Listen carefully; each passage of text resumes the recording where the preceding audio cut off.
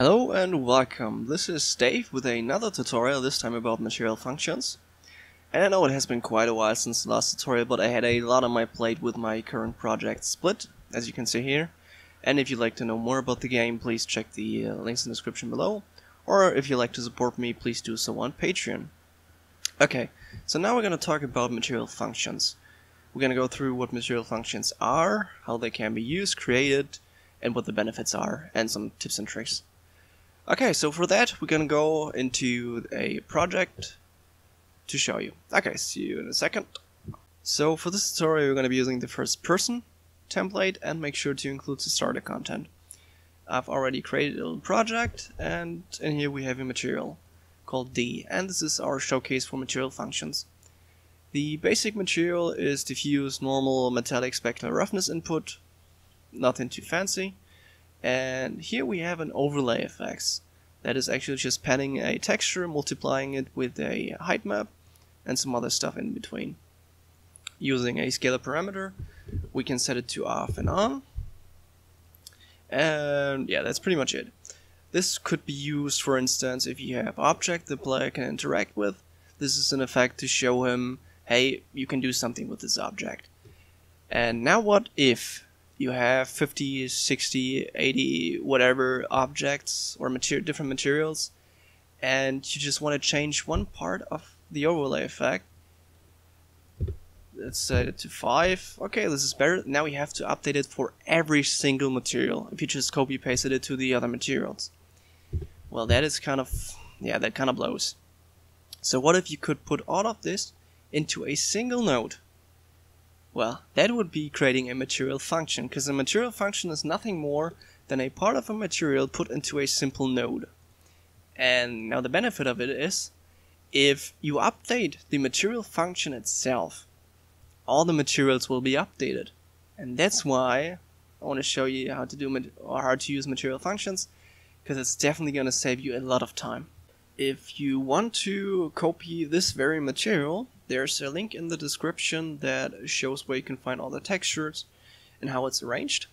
But for now, we're just gonna simply delete the uh, D function because we're gonna, well, we've been needing it, but we're gonna recreate it for demonstrational purposes. Go into the material functions, delete the old D function in here.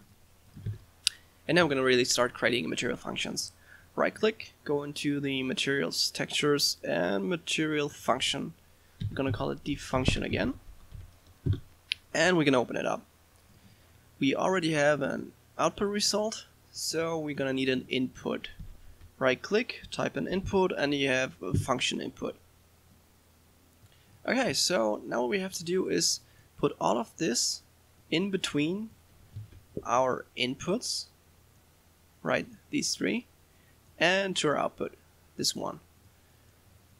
Giving it some space, copy paste in it, and yeah, well, now we can continue. Plug the add into the output, and as we know, the add goes into the base color, so we can rename it to base color. Okay. The first input is a vector 3. Since we're using a texture sample, that that's great. So we can simply keep the vector 3. We're going to rename it to diff diffuse. And so priority 0 is okay. Duplicated control W and the second one we're gonna call height map. And we're gonna set the priority to 1 why do we do that? Because the priority sets the listing of the inputs. So this one will be listed first this one second. And if we create another one set it to 2 this will be listed third this one needs to be a scalar, because the usage active is also a scalar parameter. And we're gonna name it scalar. Okay. The first one is the diffuse, and it goes into the add. The second one goes into the 1. And the very last one goes into the lerp, which controls whether the effect is on or off. Okay, so this looks pretty nice. We're going to save it, go into D, and drag in the D function into D, simple drag and drop. And now we're going to replace the inputs and outputs. So the texture sample diffuse goes into the diffuse, the height map, and last but not least the usage active goes into the scalar. Moment of truth, base color, and it's working. Nice. So now we've created our first material function. All of this overlay effect is now in, well, this simple little node. We can easily change in here and it's gonna, it's gonna affect the main or all the materials using the material function. To demonstrate, let's say the power will be set to 1. Save it. And the effect has changed. Well, this is kind of cool. And last, a little tip, because as you can see, there's no preview in here. You can, let's say, gonna copy paste these two, plug it in here, and set a value. Zero, one, and this is simply gonna enable a preview. But if you, for instance, plug in a texture, this won't be set as the uh, standard texture.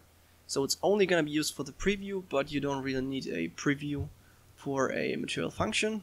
Okay, in some cases you may, but most cases you don't. And well, yeah, that's pretty much it about material functions. How you can create them, make sure to name them properly, make sure to uh, set the input type correctly, and the sort priority is a very great tip for the listing. Because as you can see in here, we have the diffuse height map scalar, if we now set, for instance, the height map to 3, save it, the order has changed. So the listing has changed. Okay, back to uh, 1. Save it. Last but not least, let me show you a quick demonstrate Last but not least, let me give you a quick demonstration of real-world applications. For instance, in Split, I used material functions for tessellation. This is a material, and it's it's still kind of simple. And in here we have the distance-based tessellation node. If we open that up, yeah, this is kind of complex. And imagine all of this being in here, the material would simply blow up. But with a material function, I can change this at any time it's going to update every function or every material that uses tessellation and it's actually it actually looks cleaner because it doesn't blow up. So material functions aren't just for the updating process but it's also to get clean materials and to not make them blow up too much. Okay so now that's really gonna do it for material functions. If you have any suggestions or what you'd like to see next please post a comment. And Next time I'm going to go more into blueprints. It's going to be really cool. And yeah, see you guys next time. Bye.